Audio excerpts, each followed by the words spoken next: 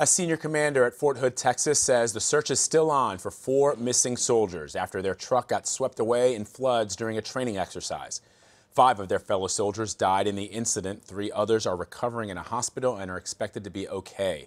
Many areas across Texas, though, remain under flood watches and warnings.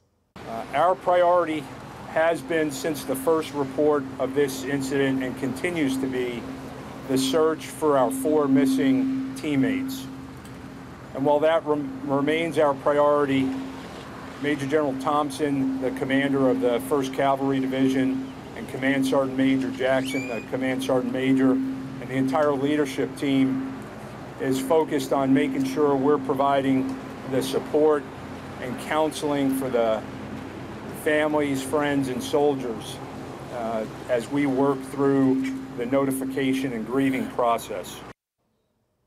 With still more rain falling in Texas today, Texas Governor Greg Abbott addressed the ongoing flooding problems across the state.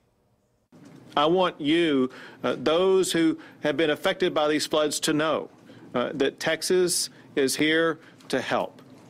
We are working with, in collaboration, uh, all the county and city officials who are responding swiftly and effectively to do everything they can to protect you, your property, uh, your lives, uh, and to keep things as safe as possible as we weather the storm.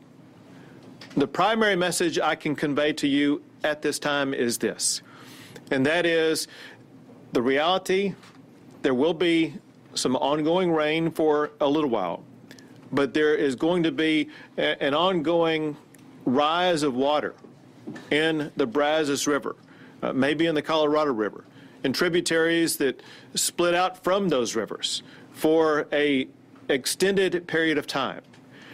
The Brazos River is flooded all the way up to North Texas. It is going to take a while for the Brazos River to drain out. So our urgent request for the citizens of Brazoria County, Fort Bend County, and surrounding areas is this. The most important thing you have is your life. Do everything you can to protect your life and the life of others.